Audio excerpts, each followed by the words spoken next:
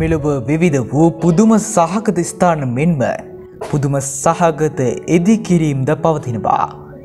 ඉතින් මෙම ස්ථාන වලින් වඩාත්ම පුදුම සහගත ස්ථාන හතක් ලෝක පුදුම හත විදිහට නම් කරලා තියෙනවා. ඉතින් අත අපි මෙම වීඩියුවෙන් කතා කරමු. ඒ විශ්මේජනක පුදුම සහගත ලෝක පුදුම හත ගැන.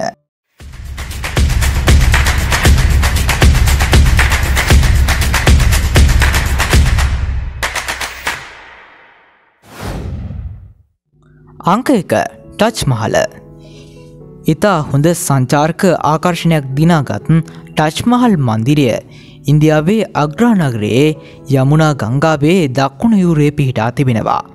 සාජහනම් මෝගල් අධිරාජ්‍යය විසින් ඉදිකන ලද මෙය මරණයට පත්වුණු තම දේවී වූ මුම්ටස් මහල් දේවිය සිහිවීමට තනන් ලද ප්‍රේමයේ සංකේතයක්.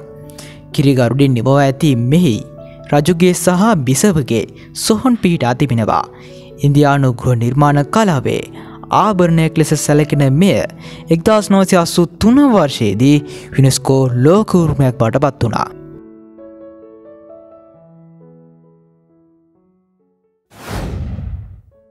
අංක දෙක මාච් විචු බලකොටුව දකුණු ඇමරිකාවේ පෙරු රාජ්‍යයෙහි ඇංගිස් කඳුකරයේ උරුම්බා නම් ගංගා නිම්නිට ඒලෙන් මුහුදු මට්ටමේ සිට මීටල දෙදසාර්සිතියක් පමණ ඉහලින් මාචවිචු බලකොටුව පිහිටා තිබෙනවා. ඉන්කාබරුන්ගේ අධිරාජ්‍යයක් ලෙස සැලකෙන මෙය ඇමරිකාවේ මෙතෙක් දෙක හැකි විශාලතම අධිරාජ්‍ය වන අතර මෙය පිහිටුවා තිබෙන්නේ. ඉන්කා පාලක පච්චකුති ඉන්කා ජිපන් කිවිසින්. ඉතින් කොම නමුත් මෙය ලෝකෝරුම අතරට පත්වුණු තවත් එක් සුවිශේෂී නිර්මාණයක්. අංක තුන චීන මහා ප්‍රාකාරය චීනයේ උතුරු මායිම ආරක්ෂා කර ගැනීමට නිමකන ලද චීන මහා ප්‍රාකාරය විශිෂ්ට හමුදා රැකවලා.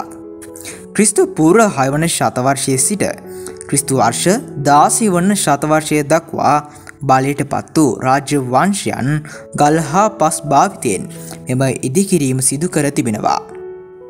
දළ වර්ෂයෙන් කිලෝමිටර් හාරදස් හයිසයක් පමණ දිග මෙම ප්‍රාකාරයේ උපරිම පලල මීටර නවයක් පමණ වන අතර උසින් වැඩිම ප්‍රදේශයේ උස මීටර නවයක් පමණ වනවා.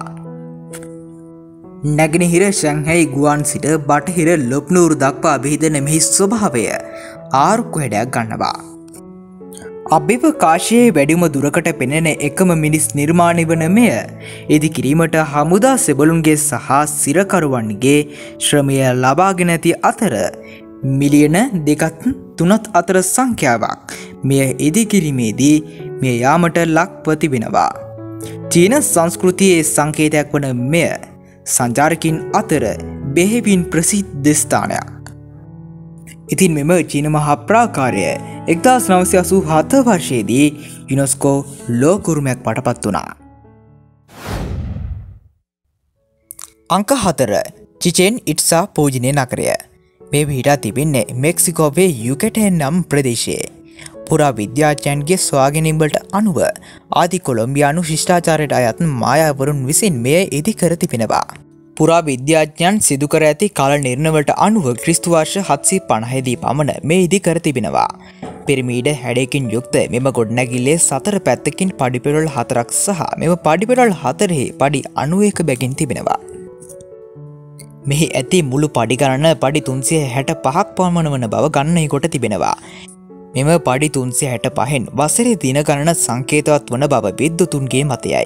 කෙසේ නමුතු මෙය ක්‍රිස්තුවාර්ශයෙක් දස් නවසය අසු අට වසරේදී යුනොස්කෝ ලෝකුරුමයක් බවට පත් වනා. අංක පහ ජෝර්ධානයේ පෙට්‍රා නගරය අතීතයේදී පුරාණ වෙළඳ මධ්‍යස්ථානයක් ලෙස පැවතුණු බවට සැලකෙන මෙම නගරය පිටා තිබෙන්නේ අරබා නිම්නයේ නැග්නිහිර ප්‍රදේශයේ කඳුවලින් වට වූ ද්‍රෝණියක ජබල් අල්මත්දා නම් කන්දට අබදවයි. කාන්තාරී දේශගුණයට මුහුණදිය හැකි අයුරින් නිර්මාණය කර තිබීම මෙම නගරයේ සුවිශේෂිෂත්වයක්. ක්‍රිස්ත පූර පස්සන සියවසේදී පමණ ඒදිවන්නට ඇතැයි සැලකෙන මෙම පෙට්‍රා නකරය ගල්වලින් නිමැවුණු සැබෑම අර්ම පුදුම නිර්මාණයක්.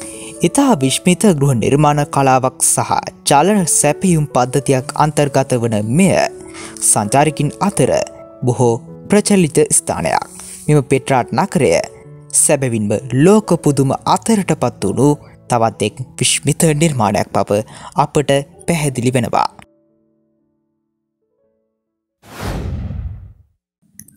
අංක හය ඉතාලිය කොල්ලොසීම ඉතාලියේ රෝම නගරේ පිහිට ඇති එක වර පනස්දාහකටත් අධික පිරිසකට අසුන් ගත හැකි පරිදි නිර්මාණය කර ඇති අති විශාල ප්‍රේක්ෂකාගාරය කොලෝසියමයි.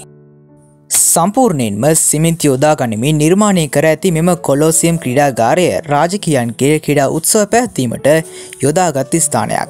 ඊට අමතරව මරණ දඩුම් ලබාදීමට මාරන්තික සටන් පැවැත්වීමට සිංහන් ලවා වැරදිකරුවන් ප්‍රසිද්ධියේ මරණයට පත්කිරීමටත් යොදාගත් ස්ථානයක්.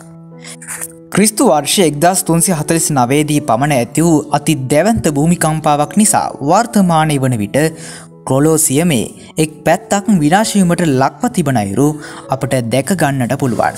වර්තමානයේ හොඳ සංචාර්ක ආකර්ශණයක් දිනාගත් කොලොසියම රෝම අධිරාජ්‍ය සංකේතයක් වන අතර යොස්කෝ ලෝකූරුම අතරට පත් වුණු සුශේෂී නිර්මාණයක්. අංක හත බ්‍රසීලේ ජේසුස්වහන්සගේ ප්‍රතිමාව. මේ අති විශාල ප්‍රතිමාව පිහිටත් තිබෙන්නේ බ්‍රසීලේ රියෝද ජනයිරෝනුවරට ඉහලින් පිහිටි ටිචුකා වන උද්‍යානයේ කොකොවාඩෝ කඳු මුදුන මතයි.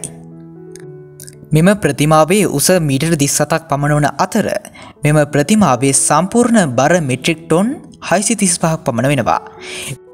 ඉතින් මේ අති විශාල ප්‍රතිමාව දැක බලා ගැනීමට බ්‍රසීලයට අති විශාල සංචාරකින් පිරිසක් පැමිණෙනවා.